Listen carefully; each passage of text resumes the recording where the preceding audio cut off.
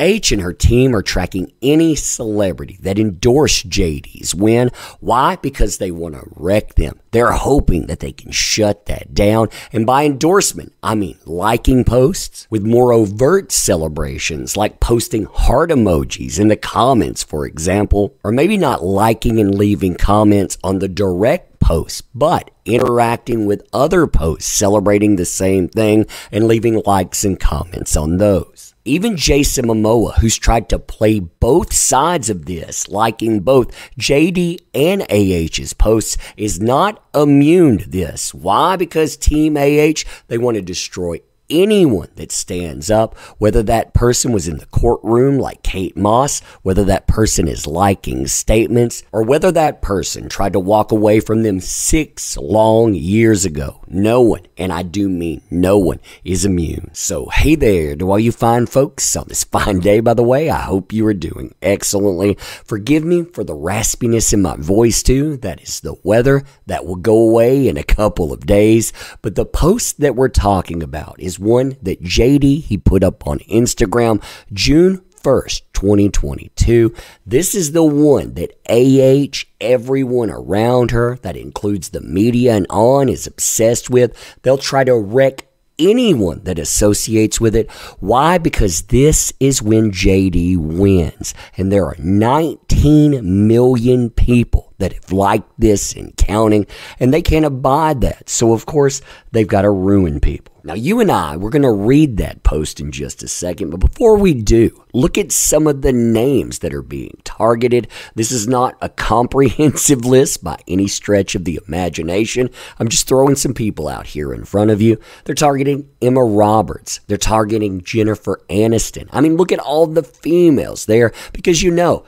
Listen in, believe, make up your own mind as a strong, independent woman. Unless you deviate from their status quo, then uh-uh, can't abide you at all. We also, we have people like Henry Golding, Joey King. You notice even Jason Momoa. Again, the guy who is playing both sides of this. He liked JD's post, but he also liked her post. He ends up on the list as well. And what is absolutely astounding to me is that AH and her team, they're calling this stuff clout chasing. That's right, clout chasing. Remember when they threw that title at Kate Moss? Now they're throwing it again. People like Emma Roberts, the Olsen twins. I mean, really, those folks, they need clout from AH. I mean, that statement there, that is absolutely unfreaking real. Now, we'll talk about some more names in just a second, too. But before that, I want to read this statement to you. Why? Because I feel remiss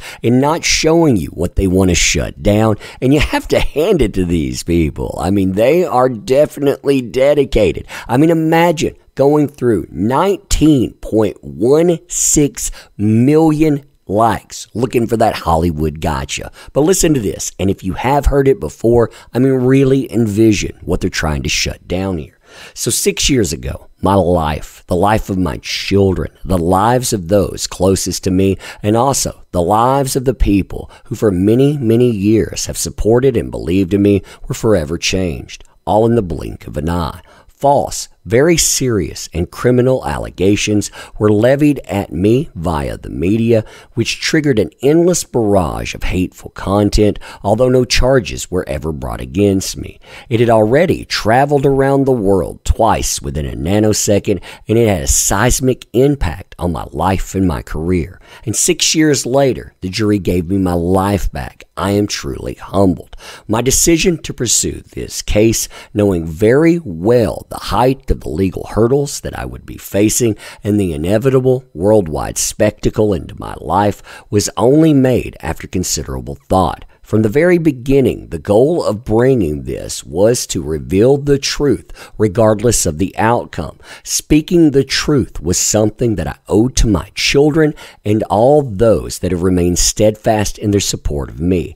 I feel at peace knowing I have finally accomplished that. Some of the names that they feel comfortable going after full throttle and trying to silence. I mean, this stuff, it is beyond crazy. Look here Naomi Campbell. I mean, they decided they were going to try to shut down Naomi Campbell because God forbid. I mean, look what they did here. They responded to that post. They didn't like it. Oh no, they went a little bit further than what we were talking about. They decided to put up heart emojis as well. They also note Pretty Little Liars alum Ashley Benson. So they put what they work with there, just in case you don't know who they are.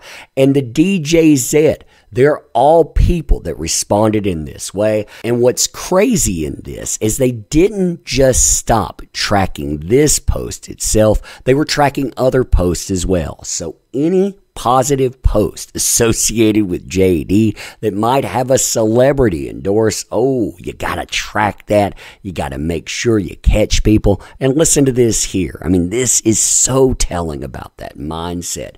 Some stars opted not to quote unquote like JD's post, but did lend a little red heart to a separate post for Greg Williams Photography, a portrait photo of JD, which includes the caption hashtag you can't keep a good man down. So Florence Pugh, Dakota Fanning, and her younger sister, the great star Elle Fanning. So they decided they were going to go after Elle Fanning. They decided they were going to go after Dakota Fanning. And again, they had to track a separate posting all because they wanted to put a tiny red heart of endorsement there for someone that says that they are a survivor of DV.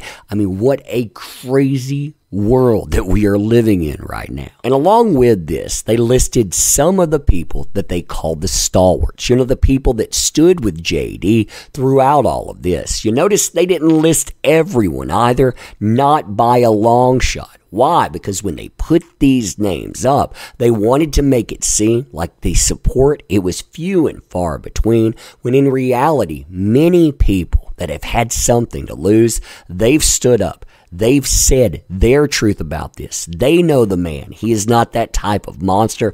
These names alone here. Kate Moss, she risked everything to go into that courtroom to say that that woman is lying about what happened. This, it sets the record straight.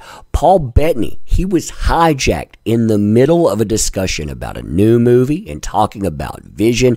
He was hijacked and told basically, you need to denounce JD or else. And you know what he said? Yeah, I'm not going to do that. Winona Ryder, too. Oh, she could have turned it any time. They wanted to make her to. They wanted to break her. But she always stood steadfast because she said that JD was a good man. You have all of these people, you have all of those people that I listed before. Many of them I didn't go over. There are so many others out there too. Yeah, they're this desperate. They want to target Hollywood. And the reality is they want to do this because Hollywood, it has nothing left for her. It's taking a minute for people to figure that out. But yeah, nobody wants to stand with that person because they know exactly what they are behind the scenes. But anyway, let me know what you think about this stuff. And as always, appreciate the heck out of you. You make this stuff work. Thank you. Can't say that enough. You want to help out the channel? There are links in the description. Definitely check those out. But you being here, that matters most of all. So thank you. Appreciate you. Ending here. See you soon.